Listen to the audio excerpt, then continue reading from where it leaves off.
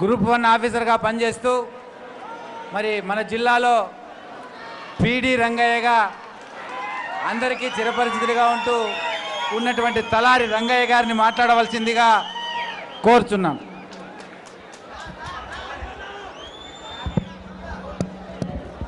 వంచనపై గర్జనకు విచ్చేసిన వైఎస్ఆర్ కుటుంబానికి శిరస్సు వంచి నమస్కారాలు తెలియజేస్తున్నాను.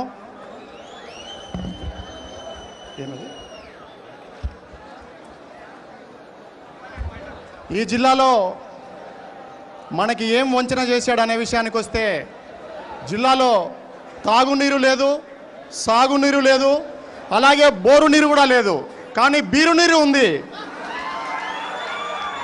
మీరు ఏ- పల్లెకైనా చూడండి ఏ వాడకైనా వెళ్ళి చూడండి బీరు సారా నీరు ఉండి ఆరోగ్యాలు పాడైపోతున్నాయి.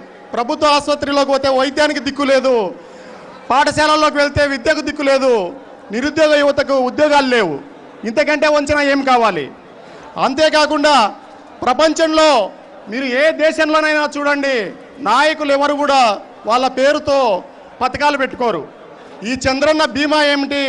చంద్రన్న తోఫా ఏమిటి? చంద్రన్న కానుక ఏమిటి? ఇవన్నీ కూడా బతికి ఉన్నవాడి పేరు మీద ఎప్పుడైనా కూడా పథకాలు ఎవరైనా ప్రకటించుకోవడం ఎప్పుడైనా చూసి ఉన్నారా అని నేను అడుగుతూ ఉన్నాను. బతికి ఉన్నవాడికి పేరు మీద పథకాలు ప్రకటించుకోవడం అనేది ప్రపంచంలో ఎక్కడ కూడా ఎప్పుడు జరగలేదు. ఆ విషయాన్ని మీరు దృష్టి పెట్టుకోవాలి.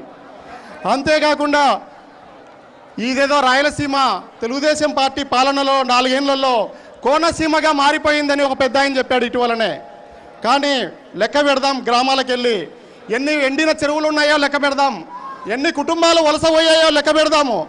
పండిన కొత్త కొద్దిపాటి పంటకు కూడా ధర లేని విషయాన్ని మనం దృష్టిలో పెట్టుకుందాం. ఎన్ని కుటుంబాల్లో పోతే ధరలోని విషయాలు కూడా మనకి ఎన్నో కనిపిస్తాయి. ఆ రోజు రెండు వేల తొమ్మిది నాటే దాదాపు పదేళ్ళ కిందటనే జగన్ అనుకొని ఉండింటే కేంద్ర మంత్రి ఆ రోజే అయ్యి ఉండేవాడు. ఇంత ఇబ్బందులు కూడా లేవు. కానీ ఆయన ఎవరి కోసం ఇంత ఇంత త్యాగం చేస్తున్నాడో మీరు ఆలోచన చేయండి. వ్యక్తిగత జీవితాన్ని వదిలి వ్యక్తిగత సుఖాన్ని వదిలి పాదయాత్ర వేలాది కిలోమీటర్లు ఎండలకు తిరుగుతూ ఉన్నాడు. అలాగే పదమూడు సంవత్సరాల్లో పదమూడు నెలలు పాలన ఉన్నప్పటికీ కూడా దాదాపు ఐదు మంది ఎంపీలు వైఎస్ఆర్సీపీ ఆధ్వర్యంలో అనంతపురంలో జరుగుతున్న వంచనపై గర్జన దీక్షను ఇప్పటివరకు మనం లైవ్లో చూసాం. ఒక చిన్న బ్రేక్ తీసుకుందాం. Stay with us